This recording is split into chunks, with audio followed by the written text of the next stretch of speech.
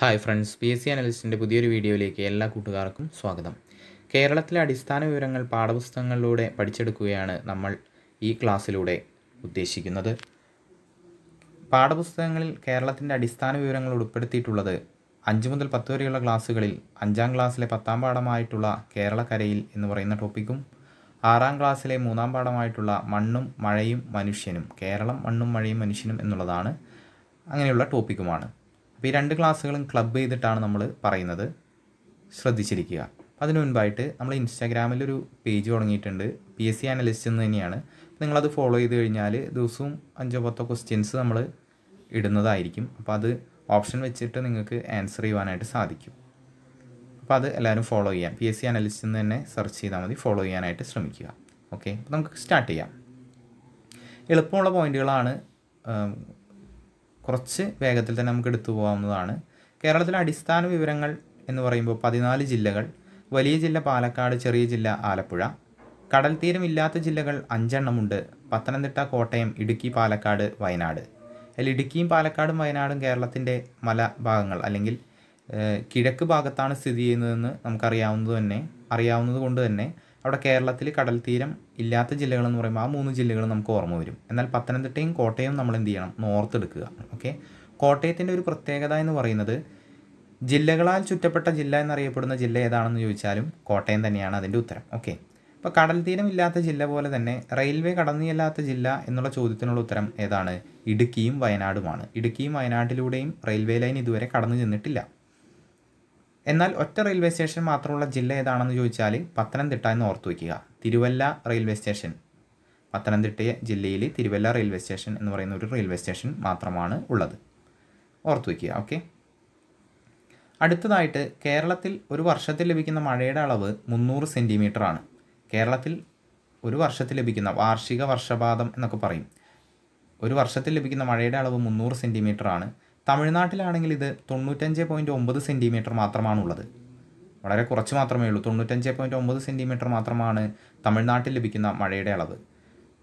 നാൽപ്പത്തിനാല് നദികൾ കേരളത്തിലുണ്ട് എങ്കിൽ തമിഴ്നാട്ടിൽ വെറും പതിനാല് നദികൾ മാത്രമാണുള്ളത്. നാൽപ്പത്തിനാല് നദികൾ കേരളത്തിലുണ്ട് എങ്കിൽ തമിഴ്നാട്ടിൽ വെറും പതിനാല് നദികൾ മാത്രമാണുള്ളത്. നെൽകൃഷിക്ക് അനുയോജ്യമായ മണ്ണ് ഏതാണെന്ന് ചോദിച്ചാൽ എക്കൽ മണ്ണ് എന്ന് ഉത്തരം എഴുതുക. എന്താണ്? നെൽകൃഷിക്ക് അനുയോജ്യമായ മണ്ണ് എക്കൽ മണ്ണ്. ഇന്ത്യയിലെ റബ്ബർ കൃഷിയുടെ പിതാവ്. ടെക്സ്റ്റ് ബുക്കിൽ പ്രത്യേകം ശ്രദ്ധിക്കുക. കോളത്തിലുള്ള ചോദ്യമാണ്. അതുകൊണ്ട് ചോദിക്കാനുള്ള സാധ്യത വളരെ കൂടുതലാണ്. John Joseph Murphy. എന്താണ് ഇന്ത്യയിലെ റബ്ബർ കൃഷിയുടെ പിതാവ് ആരാണ്? John Joseph Murphy. ആയിരത്തി തൊള്ളായിരത്തി രണ്ടിൽ പെരിയാറിന്റെ തീരത്ത് ആലുവയ്ക്കടുത്തായിട്ട് അദ്ദേഹം ആദ്യമായി റബ്ബർ കൃഷി ആരംഭിച്ചു. ആയിരത്തി തൊള്ളായിരത്തി രണ്ടിൽ കേരളത്തിലെ പെരിയാറിന്റെ തീരത്ത് ആലുവയ്ക്കടുത്തായിട്ട് അദ്ദേഹം ആദ്യമായി റബ്ബർ കൃഷി ആരംഭിച്ചു. അദ്ദേഹം ഒരു അയർലൻഡ് സ്വദേശിയാണ്. ജോൺ ജോസഫ് മർഫി ഇന്ത്യയുടെ റബ്ബർ കൃഷിയുടെ പിതാവ്. അടുത്തതായിട്ട് കേരളത്തിലെ ഭൂപ്രകൃതിക്കനുസരിച്ച് നമുക്കറിയാം മൂന്ന് തരംതിരിവുകളാണുള്ളത്. ഒന്ന് മലനാട് ഇടനാട് തീരപ്രദേശം. കേരളത്തിന്റെ ഭൂപടം നമ്മൾ റഫായിട്ട് വരച്ചാൽ ഏകദേശം ഇതുപോലെ ഇരിക്കും. റഫായിട്ടാണ് വരയ്ക്കുന്നത് കേട്ടോ. അപ്പോൾ വലത്തെ സൈഡിൽ നമ്മൾ ഓർത്തു വയ്ക്കുക ഏതൊരു ഭൂപടത്തിനും വലത്തെ സൈഡിൽ കഴിക്കുന്ന ഭാഗം എന്ന് പറയുമ്പോൾ എന്താണ്? വലത്തെ കൈ കൊണ്ട് കഴിക്കും. അപ്പോൾ കിഴക്ക് വലത്തെ സൈഡിൽ കിഴക്ക്. ഇടത്തെ സൈഡിൽ എന്താണ്? പടിഞ്ഞാറ്. മുകളിൽ നോർത്ത് അല്ലെങ്കിൽ വടക്ക് ഇവിടെ സൗത്ത്. നമുക്ക് ഇപ്പോൾ ആവശ്യമില്ല. കിഴക്കും പടിഞ്ഞാറും ഒന്ന് ഓർത്ത് വയ്ക്കുക മൂന്നായിട്ട് നമ്മൾ മുറിച്ചാൽ ഒന്ന് രണ്ട് മൂന്ന്. അപ്പോൾ കിഴക്ക് ഭാഗം ഈ ഭാഗം എന്ന് പറയുമ്പോൾ നമുക്കറിയാം എന്താണ്? ഇടുക്കി പാലക്കാട് വയനാട് തുടങ്ങിയിട്ടുള്ള ആ പല ഭാഗങ്ങളും വരുന്നുണ്ട്. ഇപ്പോൾ നമുക്ക് ഇപ്പോഴും നമ്മൾ കിഴക്ക് എന്ന് പറയുമ്പോൾ കുറച്ച് ഉയർന്ന ഭാഗമാണെന്ന് നമുക്കറിയാം. ഇവിടെയാണ് ഏത് വരുന്നത്? ഈ പറയുന്ന മലനാട് വരുന്നത്. കിഴക്കിൽ പടിഞ്ഞാറ് ഭാഗത്ത് അല്ലെങ്കിൽ ഈ നടുഭാഗം വരുന്നത് ഏതാണ്? ഇടനാട് എന്ന് പറയും. കിഴക്ക് ഭാഗത്ത് മലനാട് നടുഭാഗത്ത് വരുന്നത് ഇടനാട് ഇടയിലെ നാട് എന്നാണ്. പടിഞ്ഞാറ് ഭാഗത്ത് അല്ലെങ്കിൽ ഇടത്തു ഭാഗത്ത് വരുന്നതാണ് ഏത്? തീരപ്രദേശം. ഇവിടെയാണ് ഏതുള്ളത്? നമ്മുടെ അറബിക്കടലുള്ളത്. ഇതിനടുത്ത് വരുന്ന ഏതാണ്? തീരപ്രദേശം. മനസ്സിലായല്ലോ. അപ്പോൾ അത് നമുക്കറിയാം ഇതാണ് സമുദ്രത്തിന്റെ നിരപ്പ് എങ്കിൽ ഇവിടെ നിന്ന് ഒരുപാട് ഉയരെയാണ് ഈ മലനാട് കിടക്കുന്നത് അല്ലേ? അപ്പോൾ അതാണ് നമ്മൾ ക്വസ്റ്റ്യനിൽ ആദ്യത്തെ പോയിന്റ് ആയിട്ട് നമ്മൾ പഠിച്ചു വെക്കേണ്ടത്. എഴുപത്തഞ്ച് സെന്റിമീറ്റർ സമുദ്രനിരപ്പിൽ നിന്നും അതിനും മുകളിൽ വരുന്ന ഭാഗമാണ് മലനാട്. എഴുപത്തഞ്ച് സെന്റിമീറ്ററിനും മുകളിൽ സമുദ്രനിരപ്പിൽ നിന്നും എഴുപത്തഞ്ച് സെന്റിമീറ്ററിനും മുകളിൽ വരുന്ന ഭാഗമാണ് മലനാട്. കിഴക്ക് ഭാഗങ്ങളെല്ലാം ഉൾപ്പെടുന്നത് മലനാട്ടിലാണ്. കിഴക്ക് പ്രദേശം ഉൾപ്പെടുന്നത് മലനാട്ടിലാണ്. നമ്മൾക്കറിയാം പശ്ചിമഘട്ടം അഥവാ സഹ്യപർവതം. ഇത് സ്ഥിതി ചെയ്യുന്നത് പശ്ചിമഘട്ടം അഥവാ സഹ്യപർവത മലനിരകൾ സ്ഥിതി ചെയ്യുന്നത് മലനാടുമായിട്ട് ബന്ധപ്പെടുത്തിയിട്ടാണ് അല്ലെങ്കിൽ മലനാട്ടിലാണ്. ശ്രദ്ധിക്കുക സഹ്യപർവതം എന്നറിയപ്പെടുന്ന മലനിരകൾ ഏത് എന്നൊരു ചോദ്യം പി എസ് സിക്ക് വരാറുണ്ട്. അതിനുള്ള ഉത്തരം പശ്ചിമഘട്ടമായിരിക്കും. ഓക്കെ? പിന്നെ പശ്ചിമഘട്ടവുമായിട്ട് നമ്മുടെ ടെക്സ്റ്റ് ബുക്കിലുള്ള മറ്റൊരു ചോദ്യം എന്താണെന്ന് ഓർത്തു വയ്ക്കുക. തെക്ക് തമിഴ്നാട്ടിൽ നിന്നും വടക്ക് ഗുജറാത്ത് വരെ നീണ്ടുകിടക്കുന്ന മലനിരകളുടെ പേരെന്ത്? പശ്ചിമഘട്ടം. തെക്ക്. തമിഴ്നാട് മുതൽ വടക്ക് ഗുജറാത്ത് വരെ നീണ്ടു കിടക്കുന്ന മലനിരകൾ ഏതാണ്? പശ്ചിമഘട്ടമാണ്. മറന്നു പോകരുതേ. അടുത്തതായിട്ട് സൈലന്റ് വാലി. ഇതും മലനിരകളുമായി ബന്ധപ്പെട്ടിട്ട് മലനാടുമായി ബന്ധപ്പെട്ടിട്ടുള്ള മറ്റൊരു പ്രദേശമാണ് സൈലന്റ് വാലി. സൈലന്റ് വാലി സ്ഥിതി ചെയ്യുന്നത് പാലക്കാട് ജില്ലയിൽ മണ്ണാർക്കാട് താലൂക്കിലാണ്. പാലക്കാട് ജില്ലയിൽ മണ്ണാർക്കാട് താലൂക്കിലാണ് സൈലന്റ് വാലി സ്ഥിതി ചെയ്യുന്നത്. സൈലന്റ് വാലിക്ക് ആ പേര് വരുവാൻ കാരണം അവിടെ ചീവീടുകൾ ഇല്ല എന്നുള്ളതാണ്. സിംഹവാലൻ കുരങ്ങുകളും സൈലന്റ് വാലിയിൽ കാണപ്പെടാറുണ്ട്. സിംഹവാലൻ കുരങ്ങുകൾ സൈലന്റ് വാലിയിൽ കാണപ്പെടാറുണ്ട്. അടുത്തതായിട്ട് ഏലം കുരുമുളക് ഇഞ്ചി മഞ്ഞൾ തേയില കാപ്പി എന്നിവയെല്ലാം മലനാട്ടിൽ കൃഷി ചെയ്യപ്പെടുന്നു. അതൊന്ന് ജസ്റ്റ് ഓർത്ത് വെച്ചാൽ മതി. അങ്ങനെ ഒരു ചോദ്യം വരാറില്ല. ഏലം കുരുമുളക് ഇഞ്ചി മഞ്ഞൾ തേയില കാപ്പി ഇവയെല്ലാം മലനാട്ടിൽ കൃഷി ചെയ്യപ്പെടുന്നു. ഇനി ഇതുമായി ബന്ധപ്പെട്ട് വരാൻ സാധ്യതയുള്ള ഒരു ചോദ്യം എന്ന് പറയുന്നത് മലനാട്ടിലെ കൃഷിക്ക് ആവശ്യമായിട്ടുള്ള ഭൂപ്രകൃതിയുടെ പ്രത്യേകത എന്താണ്?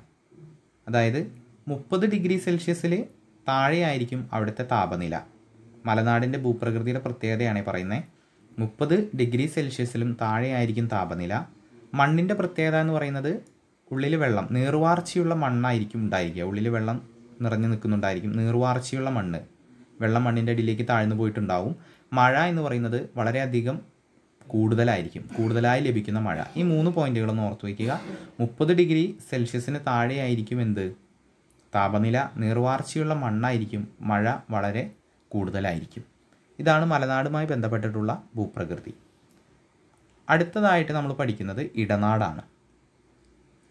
സമുദ്രനിരപ്പിൽ നിന്നും ഏഴ് പോയിന്റ് അഞ്ച് സെന്റിമീറ്റർ മുതൽ എഴുപത്തഞ്ച് സെന്റിമീറ്റർ വരെയുള്ള ഭാഗത്തിനെ ഇടനാട് എന്നറിയപ്പെടുന്നു. സമുദ്രനിരപ്പിൽ നിന്നും ഏഴ് പോയിന്റ് അഞ്ച് സെന്റിമീറ്റർ മുതൽ എഴുപത്തഞ്ച് സെന്റിമീറ്റർ വരെയുള്ള ഭാഗത്തിനെ ഇടനാട് എന്നറിയപ്പെടുന്നു. നമ്മളൊന്നും കൂടെ പടം വരച്ചു കഴിഞ്ഞാൽ നമ്മുടെ മൂന്ന് ഭാഗങ്ങളാക്കി നമ്മൾ മാറ്റിയെന്ന് പറഞ്ഞു. ഒന്ന് മലനാട് രണ്ട് ഇടനാട് തീരപ്രദേശം. ഈ ഇടനാടിന്റെ കിഴക്ക് നമ്മൾ കിഴക്ക് എന്ന് പറയുന്നത് ഇവിടെയാണ് എഴുതിയത്. പടിഞ്ഞാറ് ഇതാണ്. നമ്മുടെ ഇടനാട് എന്ന് പറയുന്നത് ഈ നടുഭാഗമാണ്. ഓക്കെ. ഇടനാടിന്റെ കിഴക്ക് എന്ന് പറയുന്നത് ഏതാണ്? അതാണ് എഴുതിയിരിക്കുന്നത് ഇടനാടിന്റെ കിഴക്ക് മലനാടാണ്. കിഴക്ക് കിഴക്ക് ഭാഗം നോക്കുക. ഇടനാട് സെന്ററിൽ നിന്ന് നോക്കുക. കിഴക്കേതാണ് മലനാടാണ്. ഇടനാടിന്റെ പടിഞ്ഞാറ് എന്ന് പറയുന്നത് ഏതാണ്? തീരപ്രദേശമാണ്. ഇടനാടിന്റെ പടിഞ്ഞാറ് ഏതാണ്? തീരപ്രദേശമാണ്. മനസ്സിലായി കാണുമെന്ന് പ്രതീക്ഷിക്കുന്നു.